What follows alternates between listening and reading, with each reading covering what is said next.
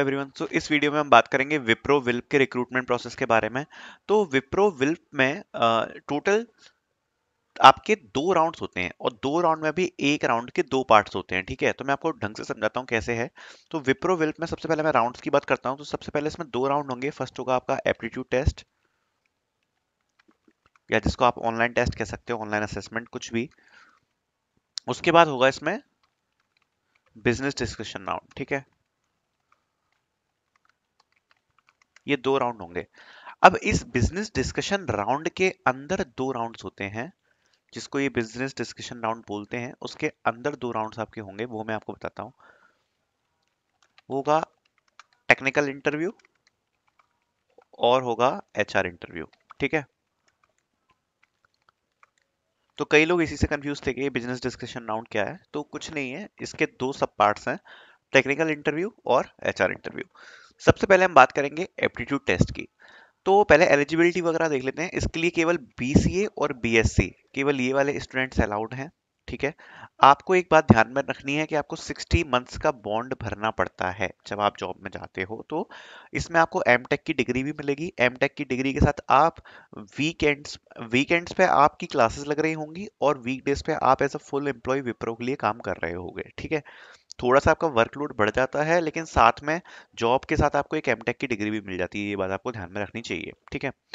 तो देखते हैं एप्टीट्यूड टेस्ट में क्या होता है? तो एप्टीट्यूड टेस्ट की मैं सबसे पहले बात करूँगा। तो एप्टीट्यूड टेस्ट बताता हूँ मैं आपको। जो एप्टीट्यूड टेस्ट होता है, उसमें आपके चार सेक्शंस होते हैं। चार सेक्शंस कौन कौन से होते हैं, वो मैं आपको बताता हूँ। ये है total number of sections first section होता है मैथ्स दूसरा होता है इंग्लिश तीसरा होता है रीजनिंग और चौथा होता है इंग्लिश कम्युनिकेशन इंग्लिश रिटर्न कह देता हूँ मैं इसको। कुछ भी कह दो यार।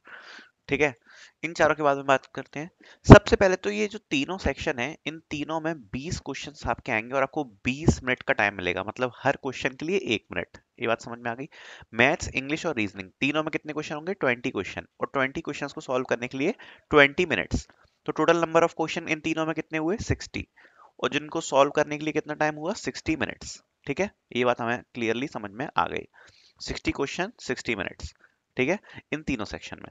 कैसे आप प्रिपेयर कर सकते हो?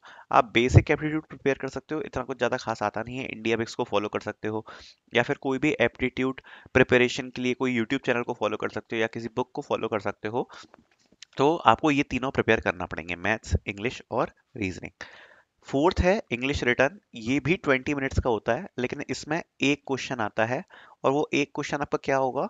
वो एक क्वेश्चन होगा आपका एस से राउंड ठीक है, आपको ऐसे रिटर्न करने को बोला जाएगा।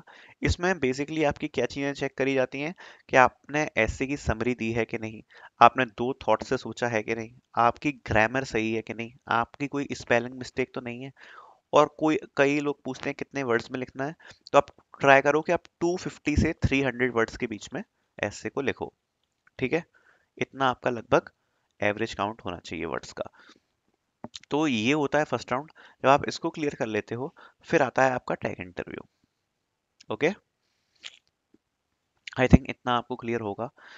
टैग इंटरव्यू में क्या होता है? टैग इंटरव्यू जब आपको चालू होगा तो ये काफ़ी डिफ़िकल्ट राउंड नहीं है। फ़र्स्ट राउंड अगर आपका क्लियर हो गया तो ये दोनों इंटरव्यू काफ़ी इजी हैं। टैग इंटरव्यू में आपसे आपके रेज्यूम बेस्ड पे ही क्वेश्चन पूछे जाएँगे। आपकी रेज्यूम में जो भी लिखा है, उससे संबंधित आपसे क्वेश्चन पूछे जाएँगे, जो भी आपके रेज्यूम में है। लेटेस्ट टेक्नोलॉजीज़ के ऊपर आपसे क्वेश्चन पूछे जा सकते हैं।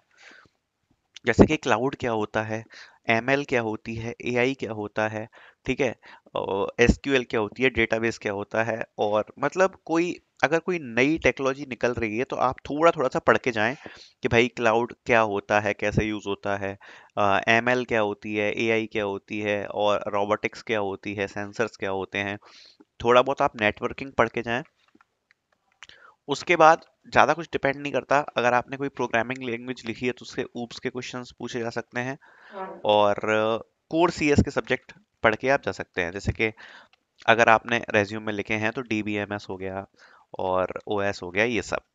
बाकी आपसे जो क्वेश्चन भी पूछे जाएँगे, वो केवल रेज्यूम बेस्ड ही होंगे, जो भी आपने लिखा है, अगर आपने कोई प्रोजेक्ट वगैरह मेंशन किया है तो उसके ऊपर आपसे क्वेश्चंस पूछे जाएँगे।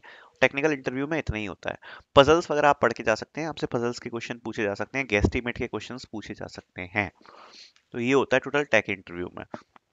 फिर आता है एचआर इंटरव्यू एचआर इंटरव्यू में नॉर्मल एचआर के क्वेश्चन बिहेवियर वाले क्वेश्चंस पूछे जाते हैं, जिसके लिए डिस्क्रिप्शन में एक वीडियो होगी। उस वीडियो में एक पीडीएफ अटैच है, जिसमें सारे के सारे क्वेश्चंस विथ आंसर्स दिए हुए हैं फॉर एचआर इंटरव्यू तो आप उस पीडीएफ को जाकर डाउनलोड कर लेना, जिसकी लिंक डिस्क्रिप्शन में है।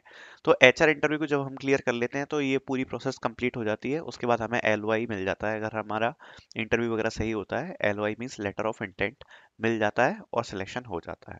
So this is all about the process of Wip Wipro will. Thank you.